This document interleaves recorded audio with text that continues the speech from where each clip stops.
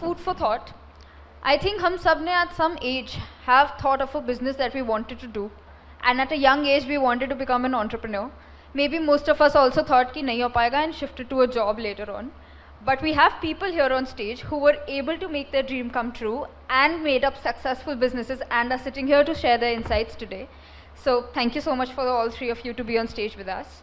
Uh, my first question, I'll dive right in, is I know that all three of you do not come from a business background, right? And what made you not follow through your uh, typical doctor, engineer passion and go for an entrepreneurial journey? Maybe Vaibhav can start. ये मैंने तो engineering कर रखी है उसके बाद job की उसके बाद ये किया है I mean, yeah, in the longer term, yeah. I would यार इंजीनियरिंग करी बट वो वाली जॉब नहीं करी. So I did my computer science from D Jalandhar and वहाँ पे इतनी अपॉर्चुनिटीज़ वगैरह थी नहीं मतलब जलंधर में being a tier two town so यहाँ पे शिफ्ट किया एक स्टार्टअप में काम करना शुरू किया. वहाँ से सीखा देना जॉइन दी मैन कंपनी वहाँ डी टू सी सीखा ग्रोफर्स ज्वाइन किया. उसके बाद फिर होता रहा खुद ही. मतलब सोच रखा था करने कब करने ये नहीं सोच रखा था बट होता रहा तो करते रहे. Okay, nice. I think very very similar दोनों चीज़ें करी है. And then I realise that I didn't make a good engineer और and I didn't make someone who diligently work very hard on something very micro and फिर figure की ठीक है अपने आप करते हैं.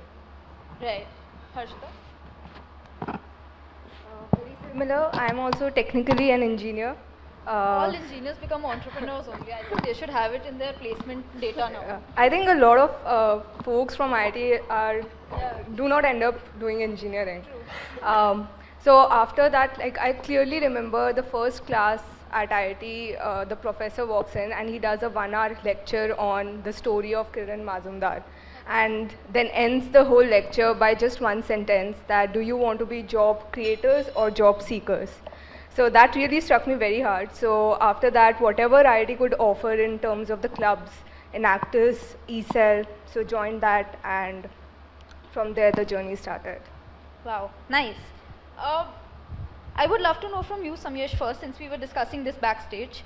Uh, has your age ever come in the way of your business dealings, be it your clients or something? Since a young age, being an entrepreneur is not an easy job. At least if you take yourself seriously, the other people may or may not. How's your experience been in that way?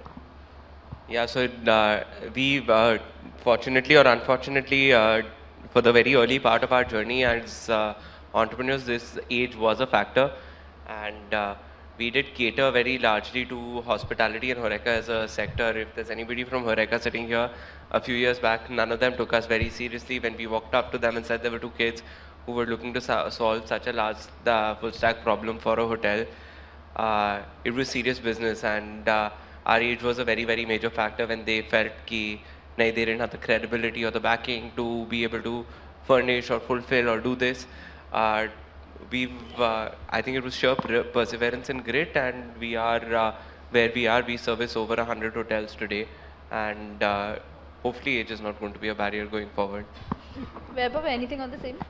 नहीं यार I think starting में it was less of a factor of age more of कि business छोटे scale नहीं है लोग seriously नहीं लेते I think with business scale हो जाते हैं तो सीरियसली लेना पड़ता है ऑप्शन नहीं रह जाते. Harshita, for you, have you faced this? No, not for me as well. I think the nature of the business was not that we were dealing a B2B sales, it was more of B2C, so didn't uh, Ah, felt so the situation was different, right? But I would love to know, uh, since you three are in three very different sectors, QSR, coffee, and uh, wellness and health and nutrition. So, uh, how did you actually explore the right market and product fit for your business. At that young age where you do not have a lot of exposure with you know we see most of the entrepreneurs spending a lot of time with large fmcg brands and then maybe starting up a business. You don't have that on you how do you understand the consumer the right product fit the right market fit? Vaibhav. Yes so I work मतलब man company में भी use to sell beauty personal care उसके बाद Grofers में भी I use to sell beauty personal care एक अलग vertical में काम कर रहा था। तो उसी का एक्सटेंशन देख के मतलब people were buying products they were not happy with the results हमने देखा कि सप्लीमेंट मतलब न्यूट्रिशन की वजह से भी ब्यूटी पे फ़र्क आता है। हेयर फॉल स्किन पे एंड न्यूट्रिशन ख़राब हो रही है। तो वो नेचुरल एक्सटेंशन बन गया कि कॉन्फिडेंस आया कि ये कर सकते हैं, कि लोगों ने ये यूज़ केस तो सॉल्व करना ही है। तो हम अगर ये करेंगे तो वो सप्लीमेंट से भी बेटर दिख सकते हैं फिर बाकी यूज़ केस उसके बाद है तो वो पिछली लर्निंग का ही एक्सटेंशन बन गया So I think not everybody, not all founders and entrepreneurs are as lucky as Vaibhav. We don't find our solutions in the first go. At least we didn't. Uh, we started building uh, coffee as a D2C first a product and along the journey the learnings were there for us to learn. The only way to do this right is to keep listening to your customers, to keep looking at what you're building and figuring out when you find product market fit. I think for us, uh, uh, a year back or eight months back, we guys realized that largest part of our revenue was coming in offline first, but we were uh, we were constantly rebelling against the flow and trying to be an online first brand. So uh, that we've uh, we've changed that. We've taken the learnings from uh, from that, and uh, yeah, we're now looking to be largely omni-channel. Right. Harshita. Uh, so for us also, it's been quite a journey with a lot of pivots uh, keeping the vision constant. But before product market fit, I think one more dimension which is extremely important is founder market fit. So uh, after uh, leaving the job, the first thing, uh, first of all, the motivation was very clear that uh, बड़ा करना और health health में कुछ करना है.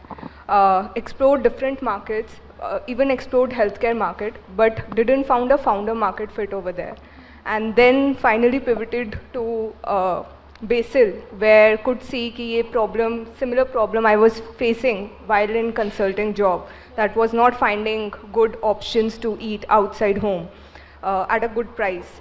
Uh, so personal problem था, passion था, तो इसके अंदर कुछ बनाना था.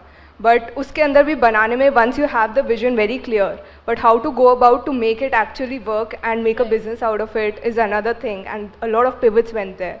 So when we started we started as a cloud kitchen but the business economics weren't working out.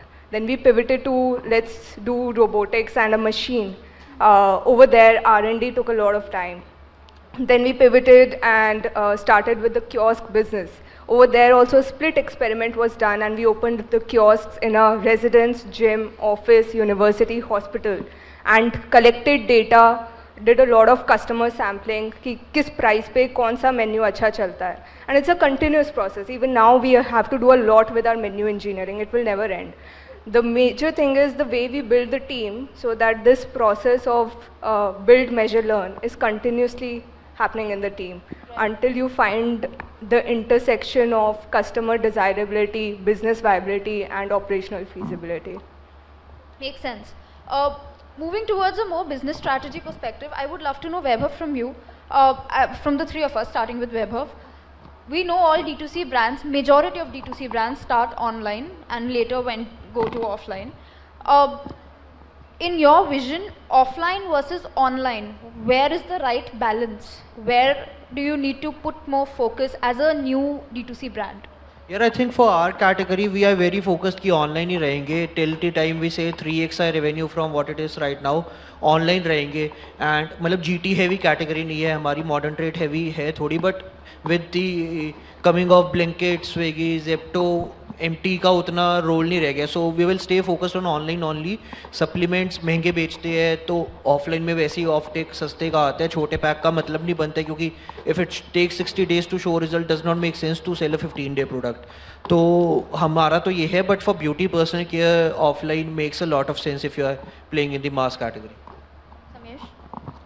I think uh, he's absolutely right. It's very specific to the category. It's very specific to your product and uh, uh, what's most important is where does the customer accept you best? And uh, for our category we thought that uh, ignoring the offline market was a mistake and uh, we're largely looking to build it uh, with an omni-channel approach. We're looking to have uh, offline as a very relevant market size and opportunity for us.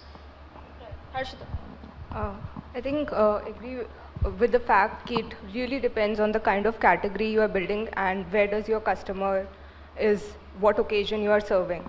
So for us also, since it's a QSR chain, we are largely offline. And, uh, but uh, we are building it more from the perspective of omni-channel, where we would be using Swiggy and Zomato to deliver as well. Right. Uh, but I also feel that since you three belong to three very different categories, right? now coffee as a category, Samyesh, has now become a very aspirational category for our generation specifically. We take it as a uh, earlier coffee used to be just an evening affair but now going to starbucks and probably putting up a selfie of being at starbucks that whole experience of premiumness is there. As a as a general trend have you all three seen a rising trend of premiumization in your own specific sectors and markets? Can you explain further? Maybe Vaibhav and samyesh यार हमारे में तो premiumisation है मतलब but premiumisation just by price नहीं we have to deliver the value also so हम मतलब generally we sell around 20 25 percent higher than what a competitor sell at the selling price but then we ensure we have better ingredients better value so that we are able to justify the prices and उस पर we see good repeats also so I think premium customer में ये फ़ायदा if you deliver the value the repeats will be better but not on a cheaper product. I think it really depends on where, where you're building again, and uh, you are the the juncture at which we are as a country. Uh, we are going through uh, premiumization. Now that premium, premiumization could be something very very different. Either you're either you're already premiumizing a premiumized product, or how we see it is uh, we are building in a mass premium category, but where we are premiumizing an experience for the customers, we are elevating them from their regular everyday tea to uh, a premium, uh, a more premium offering and getting them a coffee, or you're elevating your everyday uh, at-home coffee and giving them something a little better. So uh, premiumization, I think, also happens at different levels, and it it really depends on how you view it. Harshita, for you, I think the category itself, people moving towards a healthier and cleaner lifestyle is a move towards being charged a little premium price for the product that you sell. What do you think about the same? No, I uh, completely agree over here uh, that there is a shift. If, if value is delivered, people are willing to pay. And uh, uh, we are also catering to that mass premium customer. And in this, the most important thing that becomes is the trust uh, that you deliver. So it's not that you can say something, but your brand is doing something else. So uh, even in our case, uh, whatever we are building, the amount of transparency that we want to, that we try to achieve with the customer is supremely important and to create that kind of premiumization. Right. I would like to come to the part of challenges because, uh, of course, the brands that you all three have are not very old. They're in the nascent stages, and some are maybe in the mid uh, established of stage. What are the challenges? Top three challenges, maybe if you can give me in short, that you're facing, your business and facing in your specific segment of business. Yeah, number one I think is hiring for us to get the right people. We are a lean team. मतलब we are still a 22 people team. Other brands are size in revenue are 50-60 people team. So हम lean रखते हैं तो वहाँ पे quality सही आना बहुत ज़रूरी है पहला चैलेंज है दूसरा I think customer acquisition cost सारे डिजिटल बिजनेसेस के साथ एक इशू है कि how do we optimise that वो कर रहे हैं third I think cracking the product right कौन सी कैटेगरी में घुसे कौन सी कैटेगरी तेज स्केल होगी अगले एक साल में दो साल में पाँच साल में? वो सही करने नहीं तो पैसा वर्किंग कैपिटल में फंस जाते हैं। तो हमारे लिए तो ये तीन है। I think talent pool and hiring is obviously challenge for every one of us to find people who will be better than better than us at what we are doing to get them to believe in our vision and to join in to the journey for the long term That is a very very large challenge. Luckily for us, uh, uh, defining our product and uh, channel mix is not a challenge anymore. I think we are very very well decided on the channels that we're going to be focusing on, and we are very decided on the fact that. This is the product of choice and this is the category of choice that we're operating in. Uh, but therein we've uh, we've seen a lot of challenges, operational challenges, new channels. Uh, once we open out new challenges, figuring out the logistics of a new channel, uh, then setting the unit economics of that channel, channel, and then being able to scale it. So those are all uh, three or four uh, challenges that we face. Uh, capital, working capital, all, all of that is, I think, a constant work in progress for every entrepreneur. Harshita. Uh, I think the first, given it's a QSR chain, the first metric that needs to be optimized is uh, revenue per store. So you need to keep on thinking on if a customer is coming, how to increase AOV so that uh, since it's a retail store, online nahi hai, so same customers ko you are catering. So how you can get more out of the same customer.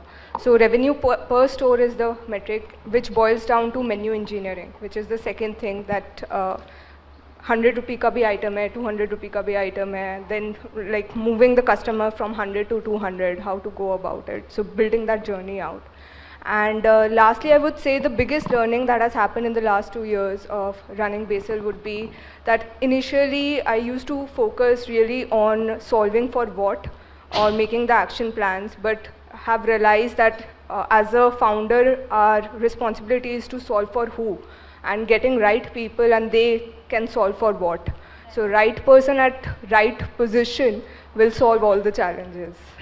I think that was also my next question, which you've already answered. I'll move back to Samyesh and uh, Vaibhav about this. One mantra, one funda that you think you should have known earlier, which you have learned, and now you would like to suggest to other young aspiring entrepreneurs. So I think her learning is that to solve for who rather than uh, what, and what are your two?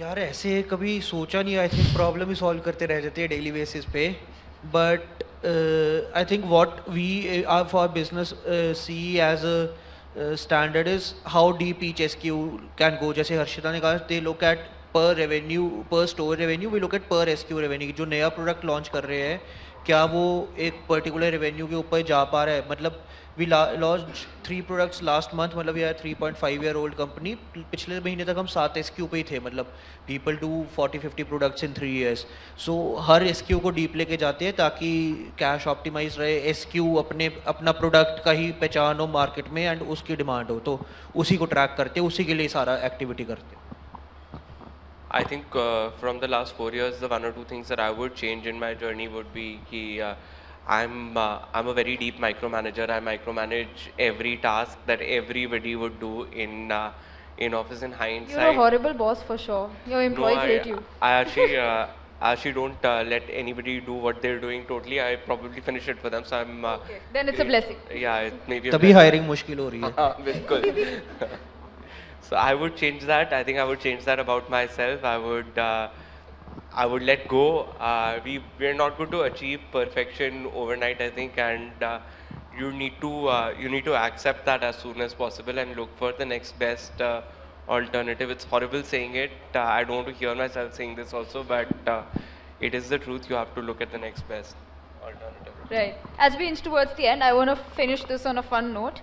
One movie title that you think defines your entrepreneurial journey the best. Uh, Vaibhav. can I define his? No, your own. okay, we'd love to know your suggestion also, but later. First, Vaibhav, let him give his own. यार I think धमाल ए, ए, पता है क्या कहाँ पहुँचना है but उसमें कोई ना कोई चैलेंज आता रहता है लगे रहते हैं उसी में Samesh, what is your suggestion for his journey that you volunteered for? I'll save that for something that we discussed backstage. Uh, but uh, I think, uh, what can I say? Maybe Dil Chahta Hai. I think uh, it would it defines uh, this. Harshita? Zindagi na milegi dobara. Like keep having fun. Right. Perfect. Makes sense. Thank you so much. Thank you, everybody.